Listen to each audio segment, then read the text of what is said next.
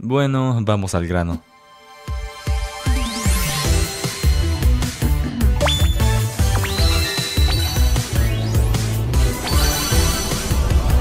A la verga.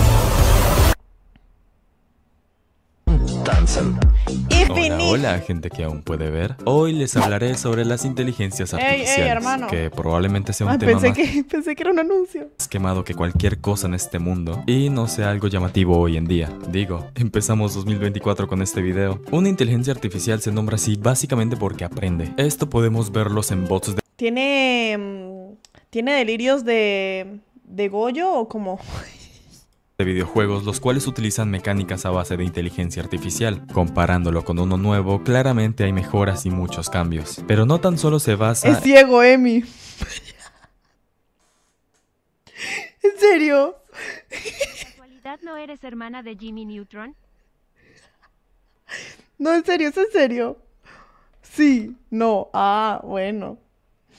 En el comportamiento de personajes en videojuegos, sino que ahora mismo se aplica en el arte, música, texto, imágenes, conceptos, ensayos y demás cosas. La inteligencia artificial aprende a base de repetir y repetir acciones, algo que se puede evidenciar en la creación de imágenes. Hace un tiempo así dibujaban las IAs, tenían errores y demás. Ahora mismo hay cosas que realmente son impresionantes, e incluso a primera vista Ah, la verga. Esto lo he hecho ahí. Bueno, este sí se nota, pero por el ojito. Pero este me impresionó. Estas son difíciles de diferenciar entre un dibujo o algo hecho por ¡Qué computadora. mierda! Alan Turing, uno de los creadores más destacados de la inteligencia artificial. Esto remontándose a mediados del siglo XX. Sí, la inteligencia artificial no es algo nuevo. Muchas veces para comenzar algún proyecto o idea se empieza por una pregunta. Y en esta ocasión fue, ¿las máquinas podrían pensar? Una IA funciona gracias a un algoritmo de aprendizaje, la cual A la verga. ¿Ustedes se imaginan que en un futuro re- nos reemplacen y hagan todo por nosotros?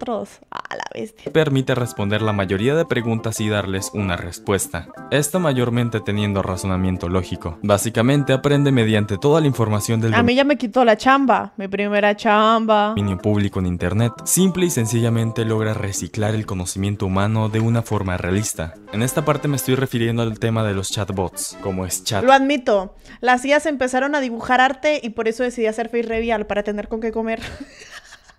GPT o Bing, pero quiero entrar a un tema el cual me llama mucho la atención. Y este es el tema de la música. Han clonado voces, han hecho canciones usando IA, lograron hacer un influencer con inteligencia artificial. O sea, ¿cómo pasamos de hacer un videojuego con pocos píxeles a recrear una forma realista a la voz humana? Antes una forma de crear frases y demás con una voz era usar los YTPH. Ahora mismo podrían crear un artista musical completamente falso. Podría volverse sumamente famoso y sería cuestión de tiempo de enterarse que en realidad fue una IA y ese artista no existe. ¿Te O imaginas? sea, imagínate hasta qué punto podría llegar esta situación. Ya de por sí la mente humana no tiene un punto final o restricción a expandirse, claro, dependiendo de las condiciones de su entorno, pero una máquina. La tecnología avanza, el tiempo corre. Me pregunto cómo estarán las cosas dentro de un año o más. A fin de cuentas será esperar a que no se nos salga de las manos. Y más que darle vida realmente a una máquina, la preservemos como una herramienta. Muchas gracias por ver el video hasta el final. Este tema de la animación es bastante complicado.